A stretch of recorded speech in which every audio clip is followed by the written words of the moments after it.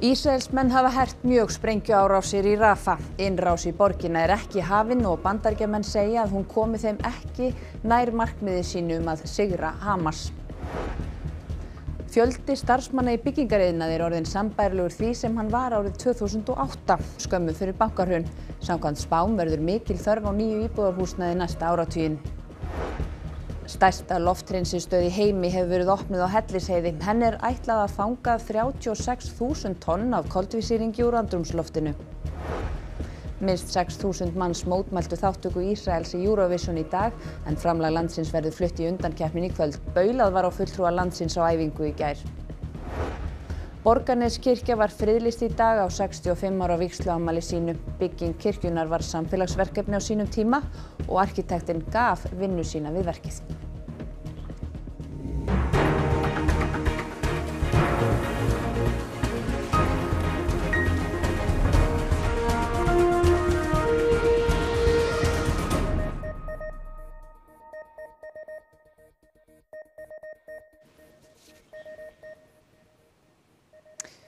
Gott kvöld. Við erum fyrr á ferðinni í kvöld vegna undankeppni Eurovision sem framfer í Malmö og hefst núna klukkan 7. Ísraelsmenn hafa haldið áfram sprengjuárásum á Rafa. Alþjóða heilbreyðstofnin lýsir þungum áhyggjum af sjúkrahúsunum á Rafa þar sem flestum leiðum fyrir hjálpargögn hefur verið lokað. Áfram er sprengt í Rafa bæði úr lofti og skriðdregum sem Ísraelsmenn hafa komið fyrir í nágrenni borgarinnar. Innrás er ekki enn hafin.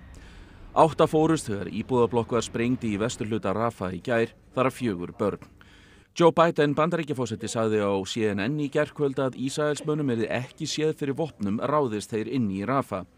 Þessi umæli hafa fallið í grítan jarðið meðal embættismanna í Ísrael en enn stendur til að ráðast í Rafa. Af þeim sökum heldur fólk áfram að flýja en það hefur í raun ekkert skjól. Að auki eru vöruhús með hjálpargögn að tæmast þar sem leiðum fyrir gögnin hefur verið lokað. الحمد لله ما شفناش ولا شيء واللي كان عنده مثلا شوية رز شوية سكر بدأت تخلص من عنده والأسعار ما شاء الله يعني صارت عادت طلعت تاني وغليت واللي معوش من وين يجيب Þetta hefur líka áhrif á heilbreyðistjónustuna í Rafa. Hún þarf ólíu til að fá ramag og hún er á þrótum. And without fuel, all the humanitarian operations, including hospital operation, they come to a halt. In the south, uh, our estimation is that hospitals only have fuel for two to three days uh, left. Samninganefndir Hamas og Ísraels yfirgáfu vopnalíðasviðröðunar í Kæró í dag en ekipskur fjölmiðil segir að enn sé reynd að miðla málum þeirra á milli. Hallgrimur, það var búið að opna leiðir fyrir hjálpargögn en hvað veldur því að þeim hefur verið lokað?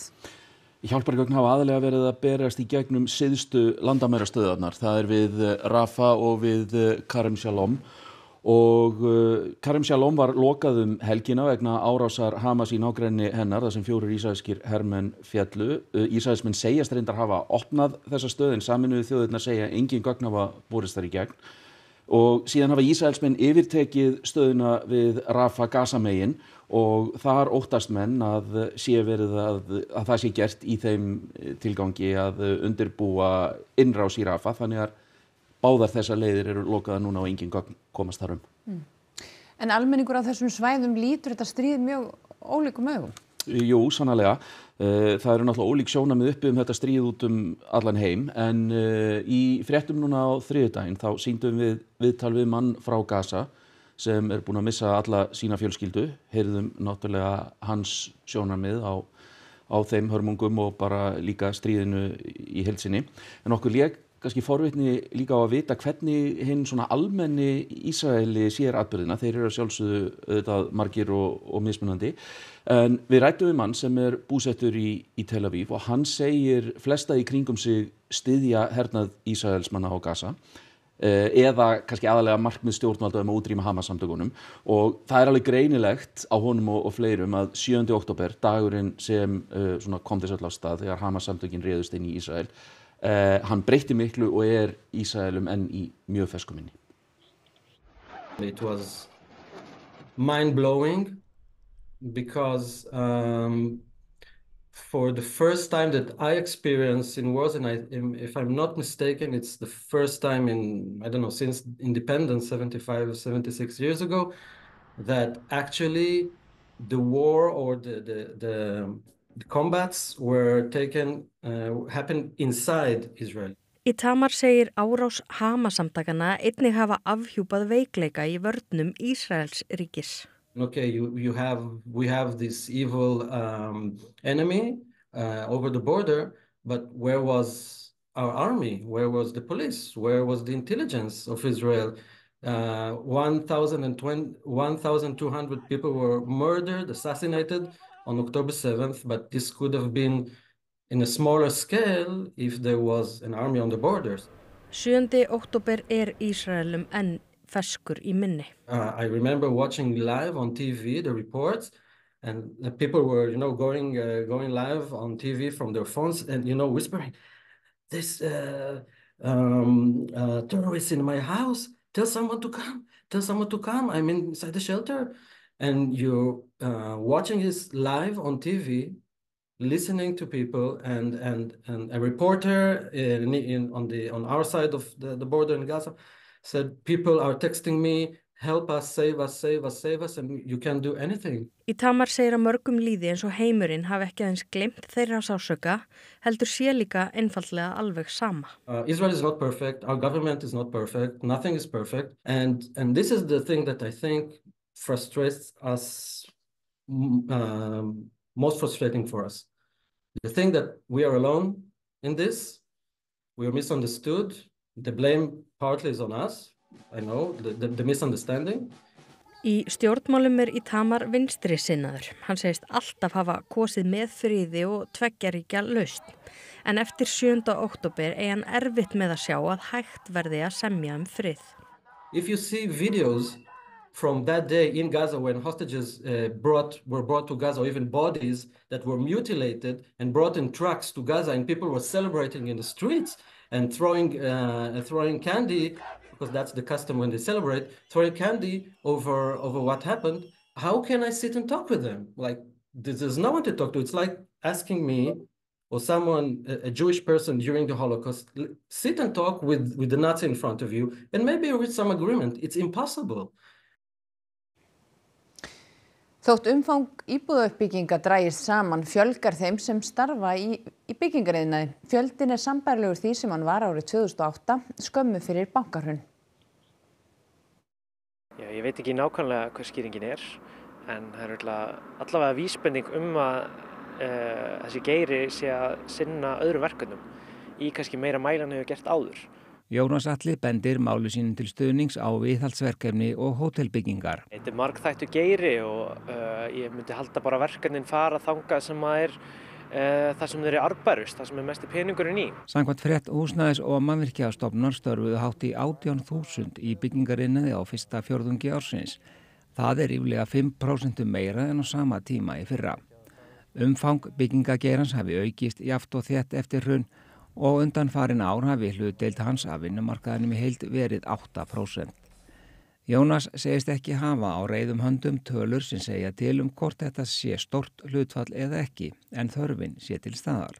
En við höfum bara síðustu fimm ár hafa verið mesta uppbyggingarskeið uh, Íslandsögunar. Þannig að þá er ekkit uh, óveðilegt við það að byggingagerinn sé stór hluti af vinnumarkaðinum þessa stundina. Og enn er spenna á fastegnamarkaðinum. Sælabankin segir í peningamálum sem byrt voru í gær að frekari tafir á byggingafrangvændum gætu leitt til meiri hækkunar á húsnæðisverði en nú er spáð. Vertakar segja mikla spurn eftir húsnæði og háur vextir hækki byggingakostnað og þar með íbúðaverð. Jónas Alli segir að spár gerir ráð fyrir því að mikil íbúðaþör verði næstu tíu ár hið minsta. Það byggir á mati sveitafélagana og sem við teljum að séu með svona kannski raunhæfustu áallanir til næstu ára. Góslokum við Sundnjúkskíga Reykjaneskaga var líst yfir í morgun. Gósið hófst að kvöldi 16. mars og stóð yfir í tæpa 54 daga. Enga virkni er að sjá í gígnum og gósórói hefur minkað mikið. Það mælist enn landris í svartsengi og talið að 13 miljón rúmetrar af kviku hafi sapnast í kvikuhólfið. Gós gæti því hafist á hverju stundu og það er líklegast að það verði á sundnjúksgígaröðinni. Hættumat veðurstofunar er enn óbreytt. Mjög mikil hætta er talin vera við gígaröðina og mikil hætta norðan byggðarinnar í Grindavík og innan bæjarmarkana.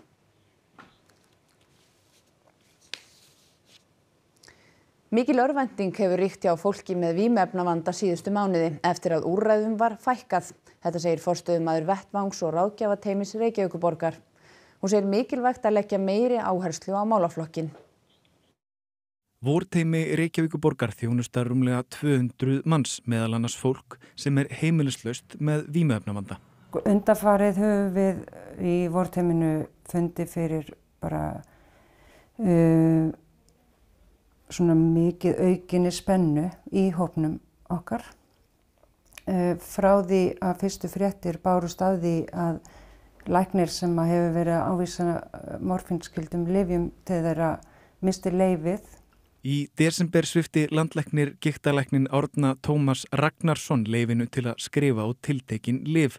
Árni hafði þá um ára byl skrifað út morfinlif fyrir einstaklinga með fíknivanda í skadamingandi tilgangi. Síðustu livseðlar skjólstæðinga hans, sem voru um 60 undir það síðasta, runnu út í byrjun mars. Svona þau bara mistu fótana svolítið. Það hérna bara skapaðist uh, mikil hræðsla hjá þeim og uh, svona, og bara mikil örvætning, örvænting. Mikið kapp var lagt á að útvöga skjólstæðingum Árnatómasar viðigandi úrræði. Tilraunaverkefni var stopnað að vegum fíkningedeldar landsbytala til að taka við nokkrum úr hópnum en það verkefni misefnaðist og allir sem byrjuði í meðferð þar hættu skömmu síðar. Nokkurir hafa haldið áfram í meðferð hjá S.A.A. sem skortir þó fjármagn til að anna eftirspurn. En það er líka stór hluti sem að svo meðferð hendar ekki fyrir þannig að þau eru þá í þeirri stöðu núna að þurfa að útvega sér efnin á annan hátt. Í vikunni greindi rúf frá því að ránum í apotekum hafi fjölgað undanfarið og yfirleitt sé sóst eftir sömu livjónum. Formaður Livjafræðingafélagsins hefur sagt að slíkum ránum fjölgi þegar úrræðum fyrir fólk með fíknivanda fækki. Þorbjörg segir bringt að mæta þörfum fólks í þessari stöðu. Við þurfum að leggja meiri áherslu á málflokkin. Það hefur verið mikil umræða um mann síðustu misseri sem er mjög gott. Við höfum verið að bæta okkur en við þurfum að gera betur. Svisneska fyrirtæki Climeworks hefur hafið rekstur á stærsta lofthreinsi veri í heimi á Helliseiði. Fyrirtækið fangar koldvísýring úr andrumsloftinu og síðan er hún dælt niður í berglög með tækni Carbfix. Við erum hér stótt upp á Helliseiði og þar er þessi glæsilega stöðbúnarísa sem fangar alltaf 36.000 tónnum af koldioksíði á hverju ári. Tækni Climeworks er líst svona á heimasíðu fyrirtækisins. Loft er dreyið í gegnum síjur með risavöksnum viftum, koldusýringurinn situr eftir. Hann er hitaður upp í 100 stig og því næst dælt niður í berglög í yðrum jarðar. Carbfix sér um niðurdælinguna. Bryndís segir að framöndan sé að reysa fleiri stöðvar víða um heim. Markmið Climeworks sé að fjarlæga miljóni tonna á koldusýringi úr lofti fyrir árið 2030 og miljardar árið 2050. Klæmurs nota bara endur nýjalega orkugjafa og þarf uh, rafmagn og hita til þess að fanga koldioksiðu og, um, og þar að leiðandi er alveg tilfælega að koma hingað på helliseiði. Þótt stöðun á helliseiði sé hönnu til að fanga 36.000 tonn af koldioksýringi úr andrúsloftinu þá er það agnar smár hluti þess sem fellur til. Þrátt verið það telur fyrirtækið að lofthreinsi ver verði stór yðinnaður innan farra ára. Vísindamenn hafa reiknað það út að það verður ekki nóg að draga bara úr losun. Við þurfum líka að fanga úr andrumsloftinu og þetta er mjög skilvirklega til þess að gera það. Þúsundir mótmæltu hernaði Ísraels á Gaza í Malmö í dag. Ísrael keppir þar í undankeppni söngakeppni Európska sjónvarstöðva í kvöld. Allt fór þó friðsamlega fram. Vita var að mikil mótmæli erðu í Malmö í dag. Þáttaka Ísraelsmanna í Eurovision er afar umdeild og þess sást meðal annars merki á æfingu Ísraelska flytjandans í gær. Hún bar sig þó vel í samtölu með fjölmiðla. Lögreglan telur að 6-8 þúsund manns hafi sapnast saman í miðborg Malmö til að sína stuðning við palestínumenn. Allstaðar mátti sjá fána palestínu veifað en hann verður bannað að sína í keppninni sjálfri og þá voru reiksprengjur sprengdar í fánalitum palestínu. Mikil öryggiskæsla var í Malmö og voru meðal annars lögreglumenn frá Danmörku og Noregi fengnir til aðstóðar. Eurovision is being held here in Malmö and uh, Israel is a part of um, the competition and we think that's wrong. They should not be a part of it as Russia is not a part of it. I find it very, very strange that we, uh, we are hosting Eurovision uh, during these uh, circumstances.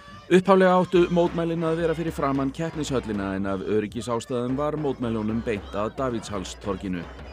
Skamt þar frá söfnuðust hundrað manns til stuðnings Ísrael. Ekki er vita til þess að til átaka hafi komið. Umhverfisráþurra undirritaði friðlýsingu Borgarneskirkju í dag á 65 ára vikslu ammali kirkjunar. Kirkjan var teiknuð af Haldóri Há Jónssoni og hún setur mikinn svip á bæinn. Þetta er bæði mjög merk bygging, uh, glæsileg bygging og uh, kennileiti og uh, stolt bæjarins og hefur verið það frá upphafi. Á uppstigningardag fyrir 65 árum var kirkjan í Borganesi vígð. Hún á sér lengri sögu því borgnesingar stopnuðu kirkjubyggingarsjóð árið 1927. Það var líka mjög merk saga á bakvið þetta sem tengist líka arkitektum Haldóri Há Jónssoni sem að fættist hér og, og ólst hér upp og var mikill borgnesingur. Borgnesingar söfnuðu fjö í nokkra áratugi. Sjóðunum barust áheit og gjafir auk þess sem konur bæjarins heldu basar og hlutaveldu og letu ágóðan renna í sjóðin.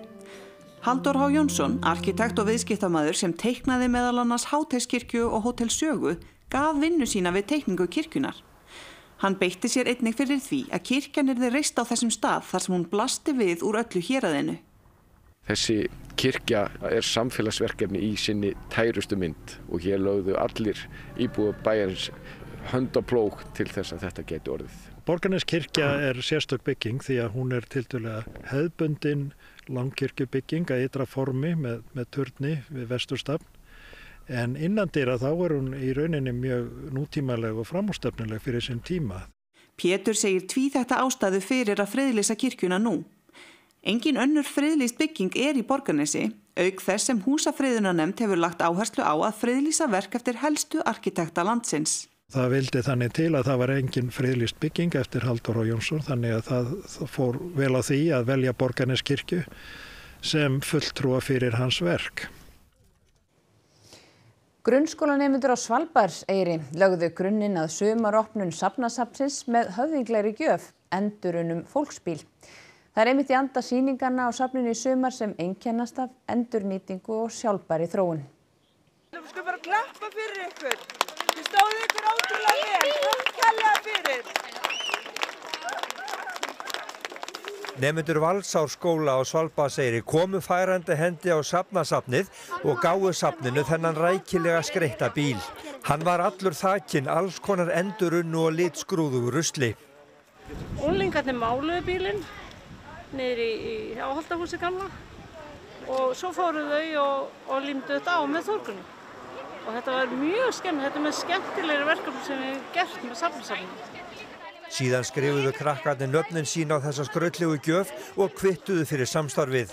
En safnarsafnið og valsáskóli hafa starfað saman í mörg ár. En núna er, er svo þessi þrýstingur í samfélaginu um endurnýtingu og náttúrulega heimsmarkmið Saminu þjóðana. Sýningasafnarsafnsins verður opnaður um næstu helgi. Safnið er safn safna eins og nafni gefur til kynna, sem svo tengjast hér og þar. Þar á meðal eru 150 skúlptúrar í einu og sama verkinu úr alls konar endurunum efnum. Og enn er verið að vinna sum verkin eins og þetta kyrðarhús aðalheðar Eisneinsdóttur út í gardi. Og þá eru 14 síningar upp og niður og úti. Og verðarlega margir listamenn á baki þær? Það eru svona hátt í 100 höfundar á baki þetta, sumir látnir en það eru sprellifandi. Nú stendur sem hæst mikið kapplaupað Bessastöðum en eru aðeins rúmar þrjár vikur til fórsetakostninga. Þar keppast allir um fyrsta sætið en það var ekki að sjá að það væri markmið margra sem tóku þátt í fórsetarhlaupi UMFI í morgun. Þetta var í þriðasinn sem hlaupið er haldið. Það hófst hjá Altanes laug og hlaupin var 5 km ringur sem lág meðal annars fram hjá Bessastöðum. Guðni Tjá Jóhannesson, forseti Íslands, var meðal þeirra sem tóku þátt. Hlaupið var haldið í tengslum við bæjarháttíðina forsetabyggarinn sem stendur nú sem hæst á Áltanesi. Og það var veðri, bjart og fallegt veður var á landinu í dag en skil nálgast landið og í kvöld mun því þykna upp með vaksandi austanátt og í nótt fyrir að rigna sunnan til. Á morgun verður væta í flestum landslutum. Fyrir norðan gæti hangi þurft mest allan daginn en það fyrir að rigna þar annað kvöld og hitti verður á bylunu 7-12 stig yfir daginn. Hrafn Guðmundsson veðurfræðingur fyrir nánar yfir horfur næstu dagaloknum íþróttafréttum sem Eva Björk Benediktsdóttir sérum í kvöld. Það var kvennadagur í íþróttunum í dag. Glótís Perla Vigosdóttir og Sveindís Jane Jónsdóttir mættust í úrslitum þýsku byggarkeppnunar í fótbolta. Og fyrsti leikur úrslita innvísins í handbolta var í dag þegar mættust Valur og Haukar. Það var allt í járnum í úrslitakefni kvenna í körfubolta og mikið skorað í bestu dildinni. Þetta og fleira strax að loknum fréttum. Og aðru hverjum ykkur er rétt að renni yfir það sem var helst í þessum fréttatíma. Ísraelsmenn hafa hert mjög sprengjuárásir í Rafa. Innrás í borgina er ekki hafin og bandarækjumenn segja að hún komi þeim ekki nær markmiði sínu um að sigra Hamas. Fjöldi starfsmanni í byggingariðina er orðin sambærilegur því sem hann var árið 2008, skömmu fyrir bankarun. Samkvæmt spám verður mikil þörf á nýju íbúrhúsnaði næsta áratvíin. Stærsta lofthreinsistöð í heimi hefur verið opnuð á Hellisheiði. Henni er ætlað að fanga 36.000 tonn af koldvísýringi úr andrumsloftinu. Minst 6.000 manns mótmæltu þáttöku Ísraels í Eurovision í dag en framlag landsins verður flutt í undankeppninni klukkan 7. Baulað var á fulltrúa landsins á æfingu í gær. Borgarneskirkja var friðlist í dag á 65 ára viksluamæli sínu. Bygging kirkjunar var samfélagsverkefni á sínum tíma og arkitektinn gaf vinnu sína við verkið. Næstu fréttir verða í útvarpinu klukkan 10 kvöld og á rúf.is má nálgast allar nýjustu fréttir á íslensku, ensku og pólsku. Það er ekkert kastlós í kvöld í Eurovision fer að hefjast í Malmö í Svíþjóð en þessum fréttatíma er lokið. Hafið það gott og verið sæl.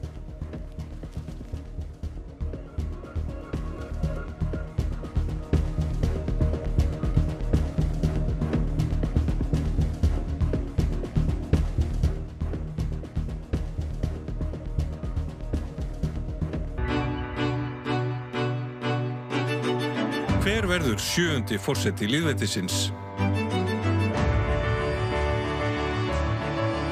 Það hafa sjaldan verið fleiri um hituna en nú, en aðeins einn fær liklaveldin að bestastöðum næstu fjögur árin. Og það er þjóðin sem ræður þegar hún gengur að kjörborðinu 1. júni.